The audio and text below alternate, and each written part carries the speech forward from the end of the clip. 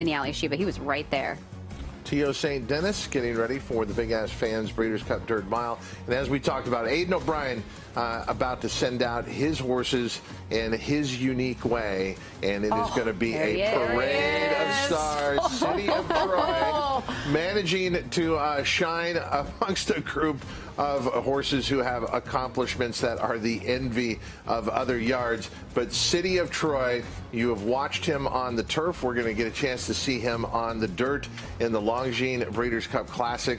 Wow, what a presence. Can I say something embarrassing for him, though? He got a little poop on his leg right there. You can see, like, he had a little bit of loose poop. As long as you're and not saying it about me. Everyone's going to take a picture of him. He's going to have poop on his hock. Oh, but it's the flaxen tail that I'm focusing on.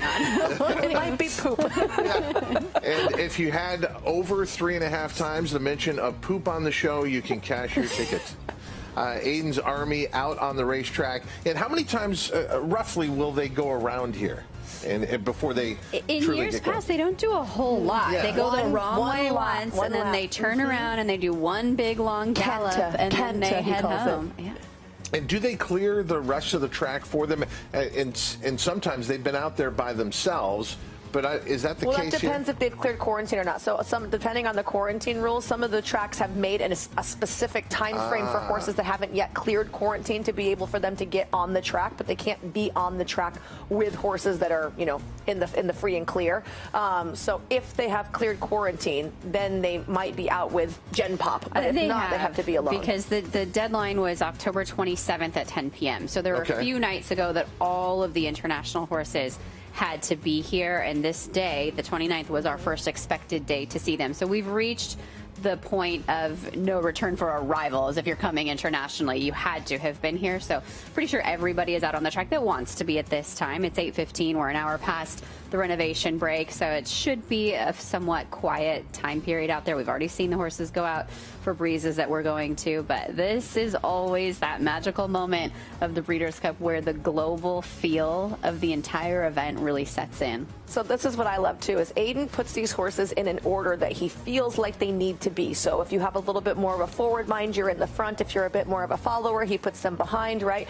And you see City of Troy second horse there after the horse that's alongside the pony. So to me, that shows that he mentally is very smart. He handles stuff very well. He doesn't get, um, you know, bothered by outside circumstances. I just love that for him coming in and trying these new things. And this is obviously the first time that we've seen him on the dirt. Some horses can't stand up on dirt, okay? This horse is getting over the dirt fine at this jog. I can't wait to see him gallop, but as of now, I'd say he doesn't look uncomfortable on it. So a, lot has been made of the fact that Coolmore has won just about every race around the world. Uh, but when it comes to the Breeders' Cup, which they have supported as strongly as anyone with numbers and quality horses coming over here, they've tried to win the Classic and they have not. It is really remarkable if you step back and think about it. City of Troy is the morning line favorite for the Longines Breeders' Cup Classic. That was unthinkable uh, at the beginning of the Breeders' Cup that we'd have a horse come from overseas in our signature race and be the morning line favorite. Uh, but that is the case. City of Troy at five to two, with fierceness uh, being the second choice at three to one. But if you look at the accomplishments of City of Troy, if you take out the dirt part of it, he absolutely is deserved of the morning line favoritism. Yeah, like he's the best horse in Europe, and yep. he is the classiest horse, you know, that they've had the opportunity to bring to the classic. I also think a part of it is the momentum, is the buildup, is the marketing. And we've been talking about this horse since the day he broke his maiden. I was actually on the air for us in July of 2023 that morning, and there was already so much anticipation for him as a maiden first time out. So this is a goal and this is a target that has been very much on the radar, and it's been discussed in interviews all the way back to last year. At some point, will you go to America? At some point, will you try the Travers? At some point, they talked about this with him because because of his pedigree, being a son of Justify. And so, big part of that is just the anticipation of this athlete trying something new and can he conquer the world for Coolmore? That is a, a great uh, logo there. Uh, speaking of conquering the world. Is that in the merchandise tent? I know. I was going to say, it was so, I mean, I went to see Fight On. Yeah, senior producer Chris Lee desperately wants one of those as well. Uh, but look at everyone in the grandstand turning their attention towards this site, and there is the perspective uh, that really gives you an idea of how special and how unique this is Aidan O'Brien and uh, his clients back to support the Breeders' Cup. And, uh, you know, you talk about Aidan O'Brien and all his accomplishments overseas. I just, you know, I think about what he does for the Breeders' Cup.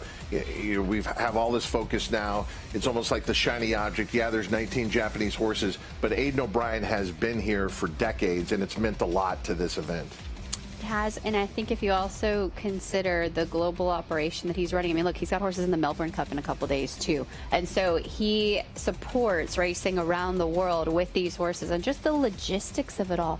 The personnel, how many riders came with these horses? Where are these riders staying? Who's driving them to and from? I mean, there's so much to manage, and you have to appreciate the team and the business side of bringing this many horses to an international event like this? You know, it's like that athletic team in any other sport, they're so good that you show up early just to watch the shoot around or show up early just to watch them stretch out on the field. This is what it's like with uh, Aidan O'Brien. And it's something, Michelle, that Christina brought up about all the people that it takes to pull this off.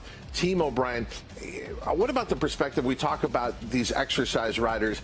Is this truly I mean, I wonder how many applications they get to be part of. You know what I mean? Like, if you get to be one of these exercise riders, it's got to be almost a career-defining moment, right? I mean, you would think so, right? To get to because you know the horse flesh you're going to be getting yeah. on is the best in the in the literal world. So you have to be um, someone that's obviously a good hand. You know what I love that Aidan always does too is you don't see all of his riders are not teeny tiny, right? Mm-hmm. There's some riders that are taller. You see the rider on 860 right there is a little bit on the the heavier side. Like I feel like here we're a lot more um, focused on you have to be small to ride. And I think Aidan's bringing some natural horsemanship in here. You can be a, a good sized person and still be able to ride these. Nice to see Dad let uh, Donnacha's horse into the line as oh, well. Yes. That was Porta Fortuna yeah. at the end, so she gets to benefit from the, the team experience. Not that she needs any help. She's already gone all over the world with success. I